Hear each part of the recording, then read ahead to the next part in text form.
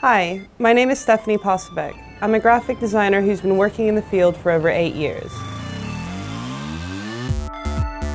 I've designed everything from advertisements, book covers and book design, to information graphics, app interfaces, and data visualizations. There are very few aspects of work that don't require design skills these days.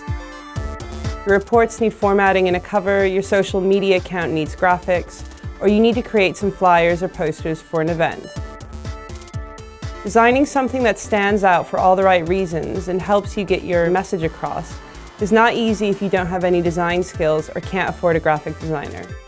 So, in this course I'll teach you about the building blocks used to create a graphic design, how to write a design brief, and how to implement the graphic design process either by yourself or through hiring a designer. As I tell you more about the design process, I'll also be showing you how one human rights organization uses graphic design to effectively communicate their message by analyzing their brand design decisions in more detail. Finally, on a practical level, we'll be using a free online graphic design program to create a digital e-card about your organization to be shared across social media, learning about the various building blocks of graphic design as we work through this project.